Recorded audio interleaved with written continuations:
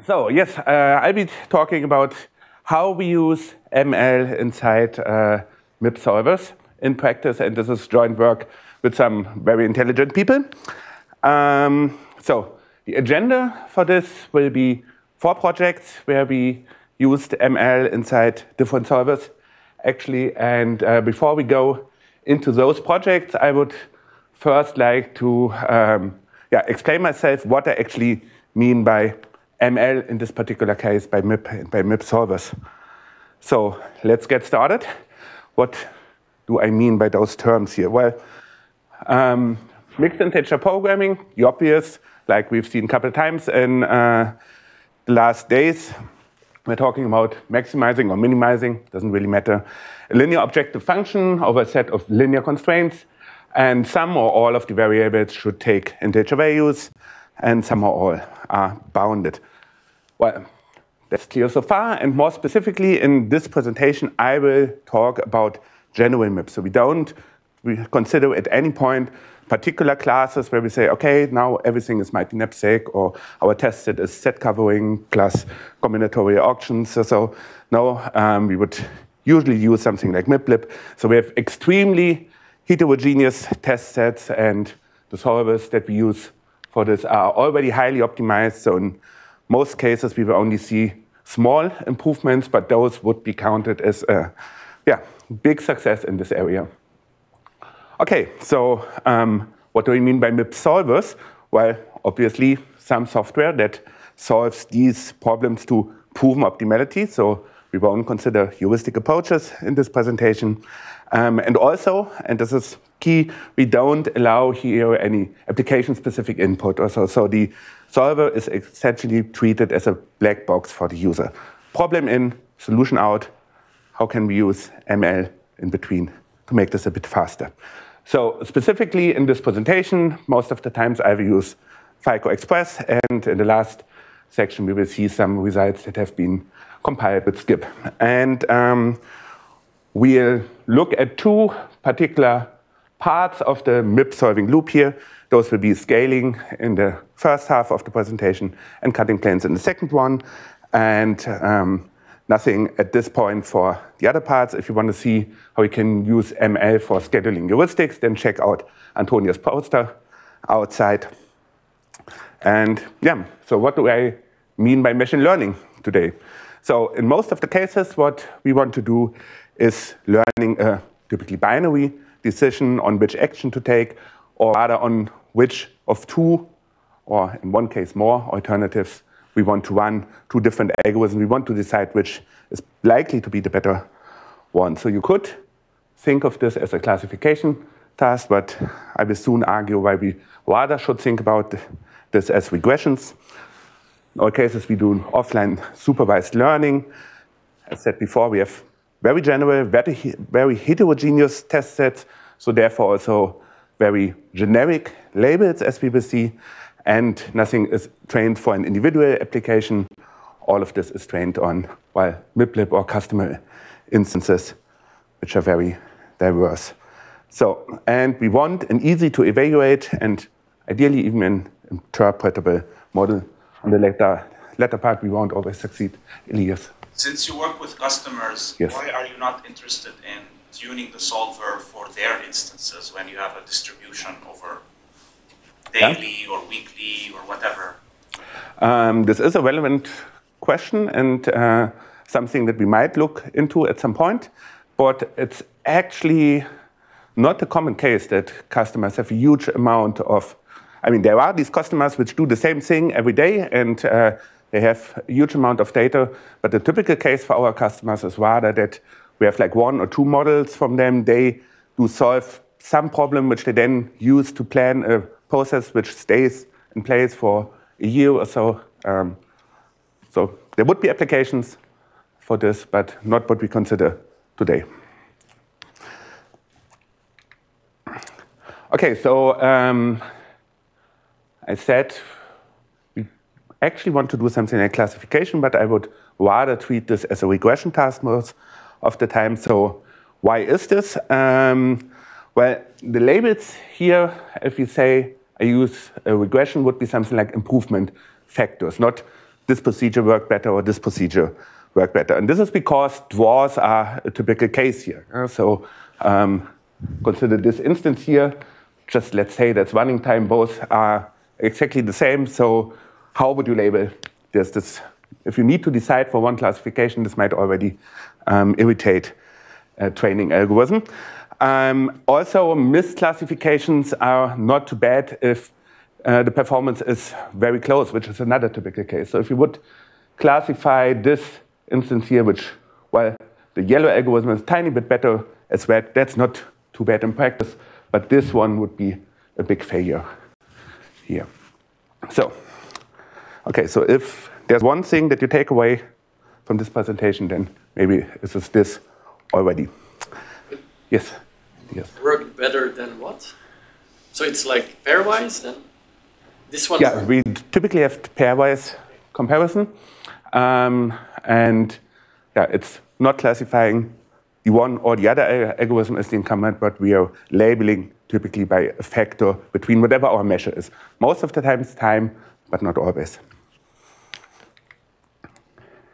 Okay, so let's start with the project that dragged me into this topic, that's learning to scale. So it was some three years ago. Um, I started with this, and maybe a disclaimer first. When I say scale here, this is not scale like in a business buzzword sense, so that's not what we're doing. This is scaling in uh, mathematical programming since we're preconditioning matrices. Okay, so back at the time, um, I and we screened literature, and well, there's a huge activity in this field already, like uh, until three years ago, uh, but only very few of these have been and still are implemented in general purpose MIP solvers or even activated by default. So why is this? There's a couple of reasons. I have uh, already pointed at some. Um, so there are typically heuristic decisions that we care about. So there's not really a ground There are, in many cases, very sophisticated rules already in place. So you're really fighting uphill if you're competing against 50 years of engineering.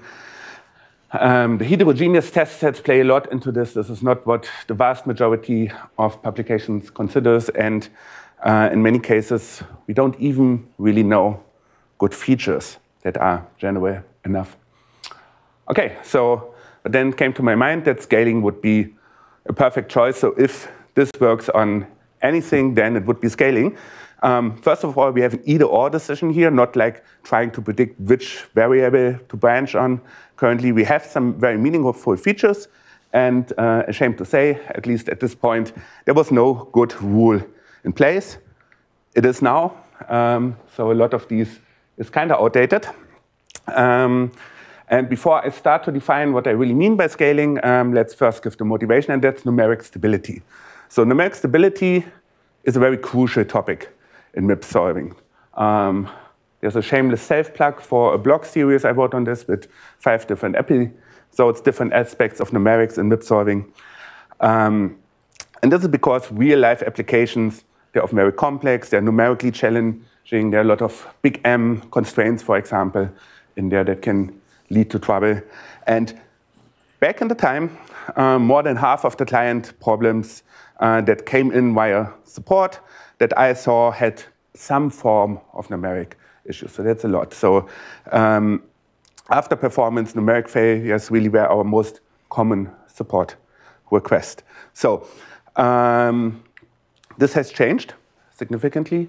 And the reason is, well, learning to scale what we going to present now. Um, first, let's look at what MIP solvers actually tell you about numerics. So the specific case of Xpress, um, you would get some a priori information about your model. So you would get the coefficient, well, not really distribution, but the spread, the minimum and the maximum uh, element that you see there of your coefficients of your right-hand sides and your bounds, both for your original model and for your well, pre-solved and scaled model, which will be uh, handled by the solver then actually.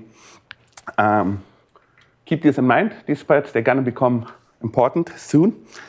And then a posteriori, what you would usually get is a report on numeric issues that the solvers encounter. This could look like this for a mildly numerically challenging problem. There are some failures of the dual simplex, uh, some failures of the primal, and so forth. Uh, so that this that didn't converge, that it cyc cycled, for example, and you had to abort and fall back to well, what you would do in case of a dual failure is that you fall back to primal. If primal fails on the same LP, you would just branch on that node without um, having an LP solution, which is can be bad for performance, of course. All right. So, um, what this does mostly is this it raises awareness to the user. Yeah? If you see something like this, or even worse, and maybe can see where it comes from, might be a hint that you want to change your model, or that you would need to try some non-default controls. So, um, let me mention one more tool that you have, and this is the computation of the attention level. This is a non-default feature for a reason. Um, so the condition number of a matrix A provides a bound on how much a small change in B can affect X. So this is the interpretation of what we see here. So the keyword here is error propagation. This is what you want to uh, estimate by the condition number, which is defined for a square invertible matrix as the norm of the matrix times the norm of its inverse. So um, this typically gives you a good indication whether you might expect uh, numerical troubles or not from that LP that's solved with this basis.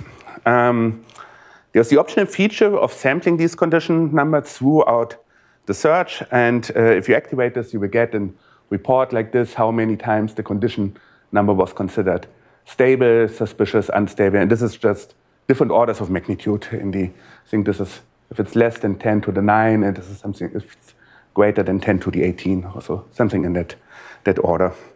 And um, this is then summarized to a single attention level. So if everything is stable, this would be zero. If everything is ill-posed, this would be one.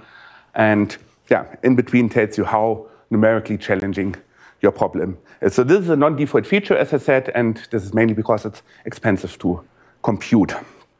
Okay, so in one purpose of scaling, or the main purpose of scaling, is to reduce condition numbers to improve um, the preconditioning, uh, the condition of the matrix. So in that sense, LP scaling refers to the well, iterative multiplication of rows and columns by scalars to reduce the absolute magnitude of non-zero coefficients in matrix, and also the right-hand side and the objective, and well, also reduce the, in particular, the relative difference between them, because this is typically what leads to issues. Um, yeah, as I said, the reason for this is improving the numerical behavior of the algorithm and to reduce error propagation.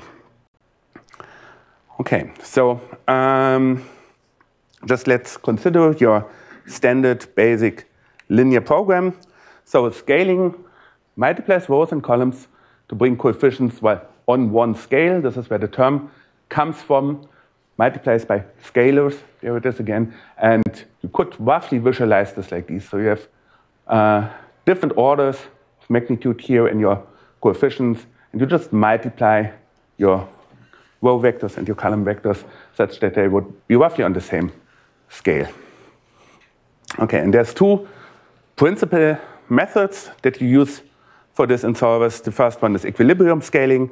This is, in a sense, the most simple way that you can think about. You just go through each of the rows, divide by the largest entry to bring this down to one. Then you do the same with the column-wise swipe. You can repeat this a couple of times if you wish to, and um, at one point you're happy. Then there is a more global view of this. This is Curtis, Curtis Reid's scaling. Here you actually solve a yeah, tiny auxiliary optimization problem to minimize the least squares deviation from one of all of your coefficients.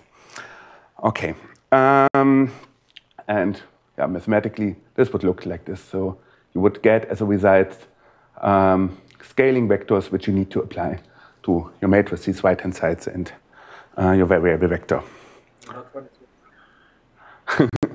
um, let's look at uh, an example. Um, for scaling. So assume, well, a global pandemic is going on, uh, you have to stay at home, uh, you're bored, and you want to set up your own little home business to um, make boxes um, and chess pieces of, out of wood. Yeah, so a good woodworker. You want to maximize the profit. You have a limited amount of wood, obviously. And uh, to start this process, you have to buy tools. They're cheaper for the boxes. Uh, they're more expensive for your chess sets. Um, but also the chess sets will give you more revenue.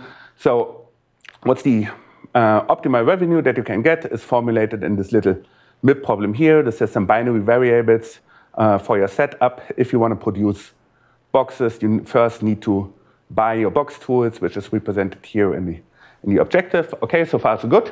Um, this is the coefficient matrix, and this here is one possible basis matrix of this n square invertible submatrix uh, of this problem.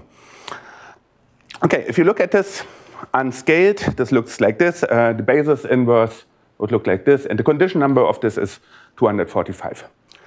So if you now apply equilibrium scaling, you would bring everything to a maximum of one. So actually here in both row in all rows and all columns, the maximum is exactly one. So this is like a perfect case for equilibrium scaling.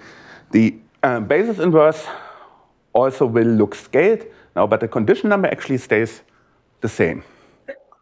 If you do Curtis-Reid scaling, on the other hand, so um, I don't know whether you double checked. So what you did here for equilibrium scaling was just you divided by 100 the second and the third row. And uh, for Curtis-Reid scaling, you do this, but then you also uh, divide the first row by 100 and consecutively multiply these two columns by 100. So you get a minus 1, 0, minus 1 matrix here. The same holds uh, for the basis inverse. It's 0, minus, minus 1, 1. And the condition number will be 25. So this is better and actually the best one that you can get for this problem or this space. Um, okay, so what we want to do here now is uh, learn which of the two we want to use. We just saw an example where Curtis-Reid scaling would be better, but this is not always the case. And there are also quite a few cases where equilibrium scaling is better. Also, this is the faster method. Um, but we're actually not trying to predict the, the overall runtime here, but we want to predict which one leads to the smaller attention level. As said before, what we will predict, therefore, is the factor between the attention levels of both problems. Features that we use here are, for example, coefficient distribution that we saw on that slide earlier that would be uh, reported. Ah, Phoebe. Eh, it's probably a silly question. Um, is there a way to um, pose an optimization problem that finds the best way of uh, scaling? Um, yes, so Curtis Reid scaling does is an attempt at this and does the, the, the best scaling for your original full matrix, but this does not necessarily carry down to the submatrices that you will see later on in your doing your solution process. I see, but I mean, yeah, there's no way then of taking for any given problem, formulating an optimization problem that would find the one that has like the smallest condition number.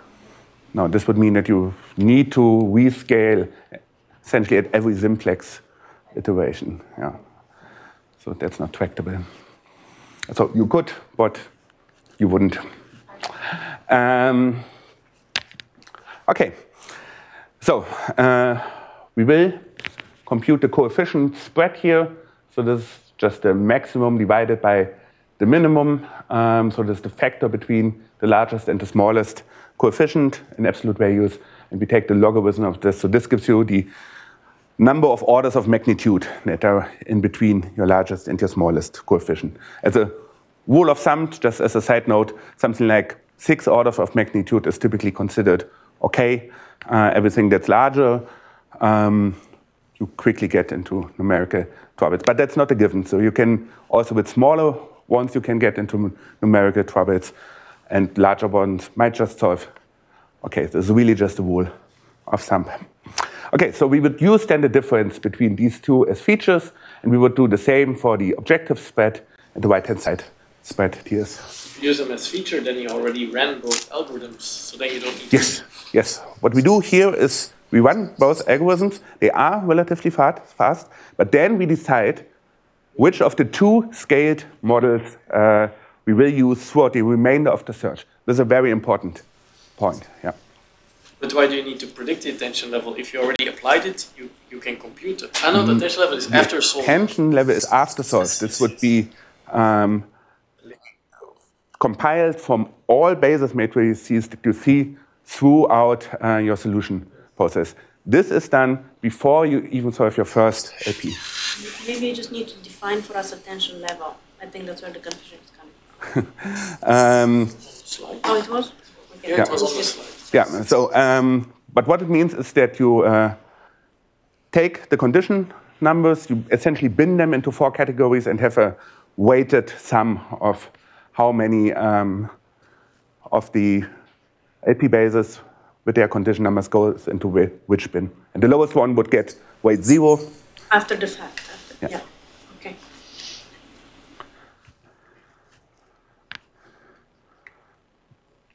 Okay. Um, so what we do then with these features and this label uh, is that we use a linear regression model to predict the factor between them. We also tried random forest, neural nets. They were not much better than the linear regressor, so we decided to go with the most simple, most interpretable model at this point. Um, we trained this on well, more than 1,000 customer MIP instances. Those are ones that are particularly numerically challenging, so that's not all of our customer models. Um, and yeah, let's look at the outcome of the uh, of our of a validation set. So we split this in training test and a validation set. So with our standard or equilibrium scaling that we used before, this would be something like an average attention level of well close to 0.12. Um, Curtis-Reid scaling, if you always use Curtis-Reid, this would be um, quite a bit better. Uh, if you always had a perfect predictor, each time took the perfect decision, then this is what you where you would end up about half the average attention level of the standard equilibrium scaling. And this is where we got with our learned model, very close to the optimum. So this is a nice result, and it perfectly uh, carries over to um, all the different criteria that we have to judge whether something is numerically challenging or not. I will not go into details of uh, every of this, but um, we could reduce the number of dual and primal failures that we um, that I already mentioned, inconsistencies between different ones of models, everything that can go bad, vi solution violations, so where the final result, if you unscale again, would be outside your feasibility tolerances.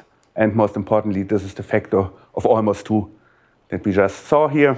On um, our MIP test set, this was performance neutral, which is nice. Yeah? So you, I mean, you don't get faster by this, but you get numerically more stable.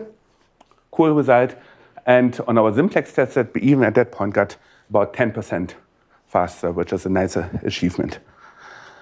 Okay, um, let's stay, uh, stay with numerics and scaling, or well, with numerics for a little bit. A follow-up uh, project of this was learning the attention level, like the actual number. So, so far we predicted for two different methods what would be the factor between them. We never needed to know the actual level by itself. As I said before, um, the attention level is an indicator of numeric sens sensitivity of the problem. It ranks between 0 and 1, but some of its disadvantages are well, it's computed a posteriori, so we will only learn after the solve that something was bad. And uh, since it uses the condition numbers of the LP bases, which are expensive to compute, it's a non-default feature. This is, uh, in a sense, the best feature that you can use for the numerical analysis of your problem, but you have to deactivate it for a certain one. Okay, so this is why we want to do an ML-based prediction where in the beginning of the solve, uh, we want to tell the user, this looks like a problem that might lead to high attention level. You might want to reconsider it. You might want to switch this compu computation on and check out yourself whether this is the case. So uh, in the end, all we want to do here is use machine learning to print a warning. Okay, so we will use the, or use the same um, uh, features that we used for learning to scale, plus a fourth one, which uh, is the conditioning of the matrix with respect to the right-hand side. Okay, um, in this case, we settled for a random forest, uh, simply because the linear regression was not good enough in this case.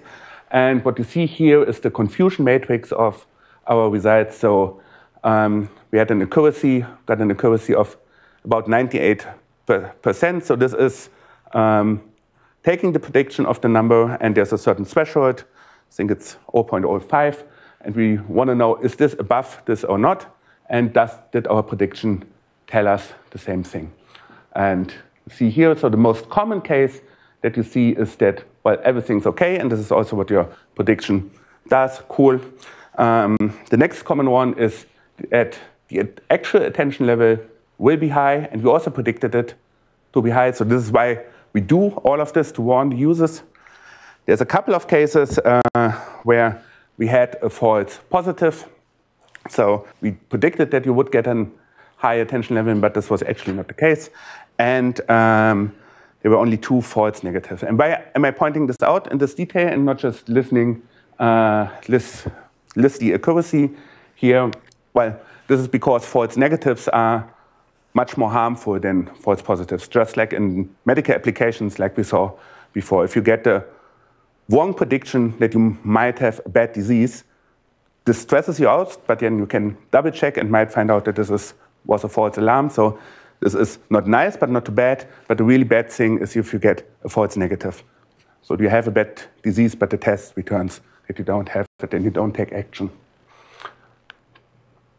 Okay, and well, in the end, what will happen is that after solving the initial LP, you might get a warning here, and this might cause you to well, abort the solution process and do something about uh, your model or to enable the attention level computation to see how bad it really is, and so on. All right, um, if you're not a fan of numerics, uh, we are completely switching topics now. Everyone who bailed out is happily invited back on. Uh, we'll start more or less from scratch, learning to use local cuts. So um, this is a mixed integer program, little example here, depicted twice, twice the same model on the right-hand side. And how do we solve MIPS? So on the first uh, day, Andrea told us about um, cutting planes. There was another standard algorithm, which is branch and bound. So what you would do here, you solve your continuous relaxation. Um, then you split on one of the fractional variables, create two subproblems. Um, then you decide for one of them, solve again, rinse and repeat. And at one point, you might find a feasible solution. Then you can bound uh, the remaining problem, and you would continue like this until you explored all subproblems. Um, and the other one is the cutting plane method that uh, Andreas spoke about. So here you would again start with solving your continuous relaxation. You would then compute an inequality that separates this point from the set of all feasible solutions. And uh, as we know, there's cheap methods to always do this. We can always generate such an inequality. Um, and again, rinse and repeat. Weak solve your problem with that cut added, and again and again until at one point, you find a feasible solution, and if you solve your problem solely by cuts, this one will already be the optimal solution. So unlike branch and bound, where you can find suboptimal solutions in between. Okay, um, what you do in practice is that you combine these two methods uh, with each other. And there's two meaningful ways to do so. One is cut and branch. So you do your cutting on your problem, and once you decided uh, you're good, you start just branch and bound or you do branch and cut. So at each node, you would uh, generate some cuts and iteratively cut and branch and cut and branch again. And the question that we want to answer in this project here is which of the two is better. Um, I would like to define or discriminate a little bit more different kinds of cutting planes from one another. So The obvious thing that we always think about are global cuts. So those are ones that would be generated for the full problem at the root nodes. And uh, obviously, they would be uh, valid for the whole problem just by construction. Then there are cuts that are generated only for some of your subproblems. These are called local cuts. They're generated locally at internal nodes with respect to local bounds. And these can either be globally valid, for example, if you generated uh, zero one half cuts where you only used original constraints. Um, so, or they can be um, only locally valid. So if you look at this example here, this cut is obviously valid for the subproblem where it was created, but it's also valid for this problem. Not very useful, but valid. This cut here on the other side uh, cuts off some of the solutions in the other problem. So it's only valid for this problem on this side. So this might be something like implied bound cuts, which used implications from uh, derived from the local bounds. Okay, for the remainder of this presentation, whenever I say local cut, I will refer to the last case, locally valid local cuts. So, how good are local cuts? This is it a good idea to use them for general MIP? Like before, it depends. So the majority of instances benefit from local cuts. But there is a non-ignorable number of instances that suffer from local cuts, so that get slower to solve if you use local cuts in your standard fashion. And there's a middle ground. You see that this does by far not add up to 100%. There's a middle ground where both procedures are roughly the same performance-wise. So it's a crucial question whether we want to generate cutting planes at internal tree nodes or only at root node or in a sense whether we want to run a branch and cut or a cut and branch algorithm. Um, well, cuts are an essential part of branch and bound algorithms. This is why we usually by default would generate them locally. Um, but why can it be bad? So first of all, they can block some other solver features. Think of conflict analysis, which tries to derive globally valid information from a local infeasibility when this local infeasibility was produced by a local cut, you cannot uh, derive a globally valid constraint from this. So local cuts might block there. And then uh, they might just not be very efficient. So cut generation costs some time. Um, the cuts make the LP solve faster. So if you don't save on nodes as a return, then overall you would get slower. Mark. So I know the local cuts that are globally valid is outside the scope. But do you have any intuition for the 45% of instances that significantly yes. benefit? Uh, if these are benefiting from globally valid, like could they also benefit from locally generated cuts that are globally valid? Or no, this benefit kind of exclusively would come from the locally valid cuts? Um, so in this particular case, the, the solver, Xpress the solver that we use there would only generate locally valid local cuts. It would not uh, make them globally valid available, even if they are. But in general, they could. And we, the, the, reason for this is uh, we tried and it was not beneficial overall. But again, this is the next, might be the next ML project where we can learn whether we want to do this. Is there another question? No. Okay.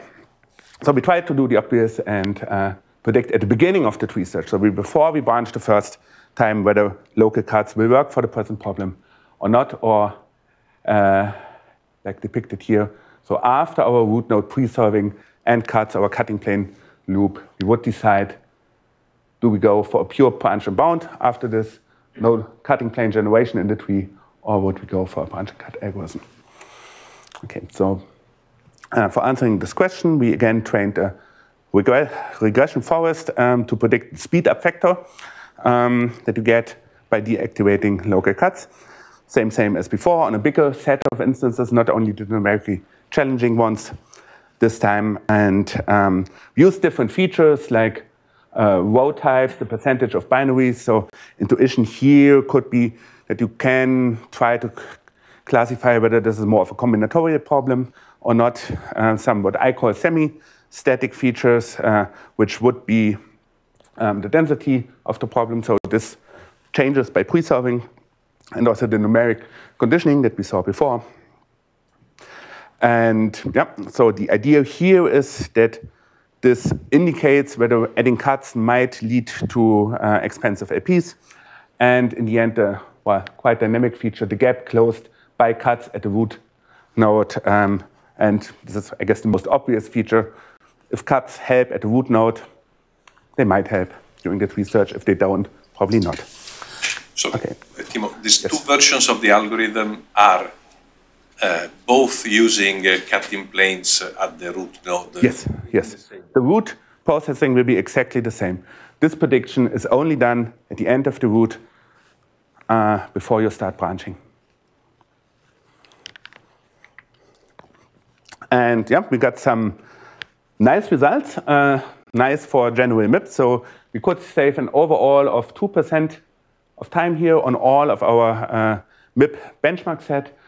Um, if we only look at the affected instances, so those, those we now wouldn't do uh, local cuts, we would before have done it. So this, the default before was essentially to always do it. with very few exceptions where you wouldn't. Um, what you also see that while you reduce the overall runtime, the number of nodes increases. And that's expected. Yeah? So you switch off a feature which would help you saving nodes on a consideration that this saving in the number of nodes doesn't make up for the time that you need for solving those nodes. Okay. Um, and then coming to uh, the last topic for so today now. What was the last column uh, in the pre previous picture? PDI? Is PDI, primal dual integral. Favorite measure. um, learning to select cuts. This is uh, joint work with this smart man sitting over there asking questions uh, each and every day. Um, and yeah, so cut selection. Um, what is this? What do I mean by cut selection? So uh, as already mentioned, cuts are generated in rounds. So you separate, you solve the separate, solve the and so on. So um, the separation procedure by itself is typically quite cheap in comparison to the following LP solve. So what this implies is that you can afford to generate much more cuts than you actually need and then pick out the best ones that you would like to add to your problem. And again, you have to do a trade-off here. Do I want to add more cuts? This will lead to expensive LPs, might also lead to numerical issues as seen before. Or do I want to add less cuts? Well, this means I would um, solve more nodes in the end. So there's a sweet spot in between. And the question that we want to answer here is not how many cuts uh, do we select, but which criterion uh, out of a different selection do we want to use for our selection. So how do we want to rank these cuts? Okay, um, quickly flying, uh, flying, over the state of the art uh, are efficacy and directed cutoff distance. So the intuition of efficacy here is that you want to maximize this distance. So a cut is good if um, the cutting plane is far from the, uh, the LP solution from which it was separated. So if this distance here is big, intuition is that this would mean that you chop off a big part of the polyhedron. And directed cutoff distance is similar. It also measures a distance, um, but not orthogonal, like in the efficacy case, but towards the current incumbent solution. So um, we argue that uh, both of this might have some flaws. Um, so look very intuitive, but uh, we can actually quite easily trick them. So uh, if you consider the efficacy here for these two cuts, so uh, the efficacy measure would actually prefer the blue cut over the orange one because this line here is longer than this line. Yeah? So the distance between this point and those hyperplanes is larger for uh, the blue one. But actually, as you see, um, the orange cut is the, the better one. Uh, this cuts off more. And the reason is that uh, for this orange cut here, um, this projection is outside the actually, actual polyhedron. And so you're taking the measure from a point that you um, wouldn't want to separate anyway. If you had selected some direction that goes inside the polyhedron, like the DCD, for example, this would not have happened in any case. The blue cut, uh, the orange cut would have been scored higher than the blue one. So this is the issue with efficacy. Um, that's partially overcome by DCD. Um, and uh, an issue we both suffer from is dual degeneracy. So for those of you who have not heard this term before, this, the presence of dual degeneracy uh, means basically means that uh, you have multiple alternative optimal solutions. So you have a full optimal face, not just a single optimal point. And here again, if this is the solution that for whatever reason your simplex solver gives you, you would prefer the blue cut um, because this distance is slightly larger than this distance. But you see, if you would have um, ended up at this solution, then well, the blue cut wouldn't even have cut off the solution, and the orange cut would have been much better. So, um, and the same, essentially, the same argument that you have uh, well, a random selection in the sense of which solution you end up with, how it's for DCD, because you're computing your distance with respect to some more or less arbitrary feasible solution. Okay, so how might we do better here? Um, we might use analytic centers, which is something like a central point of a polyhedron. And um, there are two different kinds of analytic centers that we can consider. The analytic center of the optimal face, which is something like the middle point here, and score cuts with respect to um, their distance to this point, and the analytic center of the whole polyhedron as a replacement, drop-in replacement for uh, the incumbent in DCD. So we'd always use the same point to refer to. And yeah, um, we want to choose between, well, these four and actually four other methods. More of this described in the paper. I only ripped off the machine learning part here. Um, how am I with time? Should five more minutes, right? Okay. Um, so, um, okay, we want to determine the best selection criterion. Well, out of eight, the four that we just saw, and four other ones.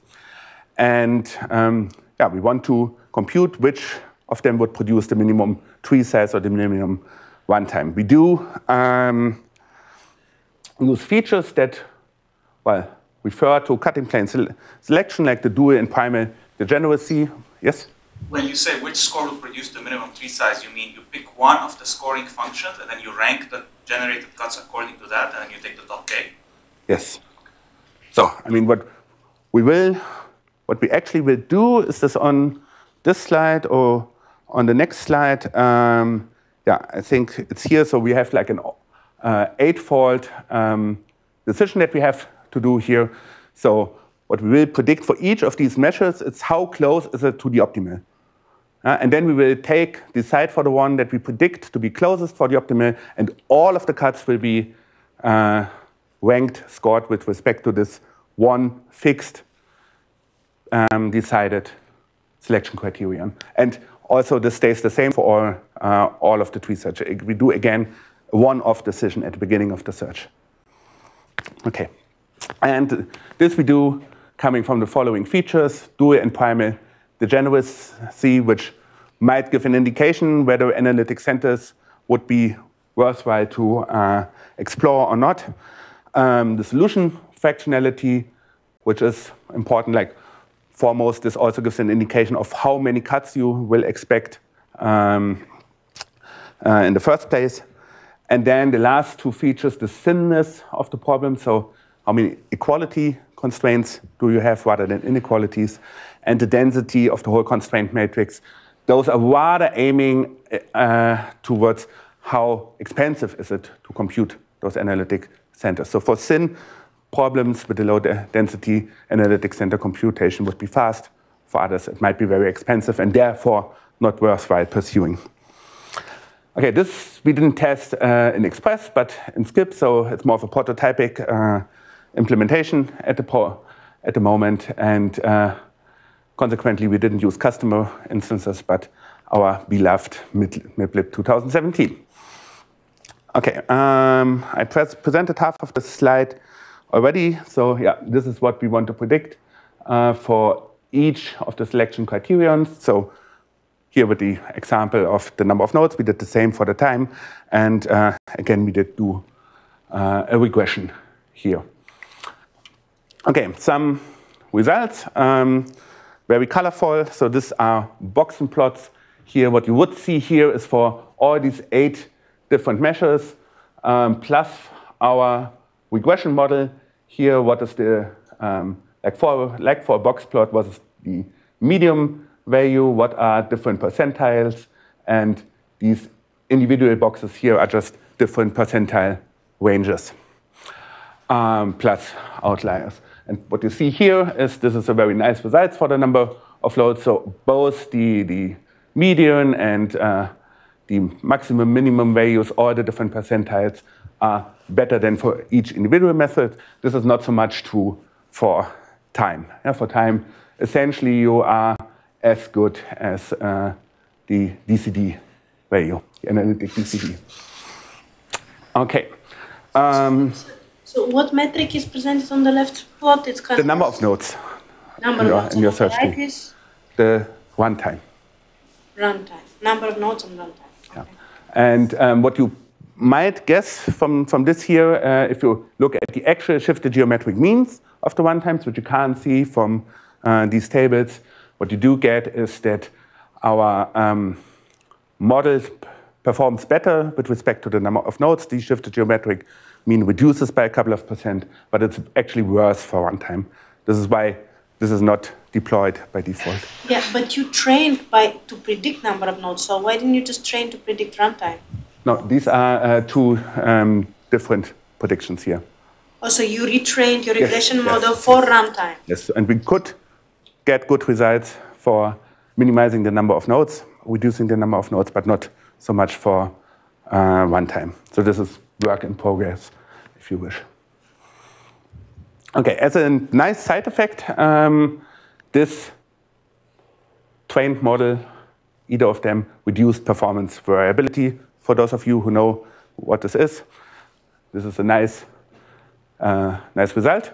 Um, and what you see here as the last picture of today is a principal component analysis that we did. Um, and you see that the majority of the instances here, so each point here is one of our validation instances, prefers one of the DCD variants, either the original one or the analytic center DCD. And if you look closer, you will see that uh, they are shaded differently, and this is um, um, telling you how good this measure actually was. So you, you predicted that you should use DCD if you have an, if this is not opaque, then this is actually the best measure that you could get, and something like this would be a misqualification. Okay. Um, one quick question. So yes. did you look into like you only have like what six features or something? So did you look at what your model is learning about how to use these features in order to choose which uh, strategy to apply? Uh, sorry, could you? Did you look at yeah. the features, weight, or importance within the learned model to understand which like which features were actually really used in the, your final predictions? Um, I mean, we looked into this for all. Um, for all projects that we saw today. So under the hood, like a feature reduction would have happened at all the cases. But you had you you listed only six features or something. Yes. This so this is a very small. Yeah, we started out with more, and uh-huh. then realized that some of those are not are not used. This is what but we. Among those with. six, you don't have further intuition, like one of them is more important than another, something like this. Not from the top of my head. Mark, can you, uh, do you have anything to add to this? No, this it's, it's a good, good question. I think I also saw you use a quadratic kernel, so you're also using combinations of features, I think, that complicate such an analysis. Yes. yes.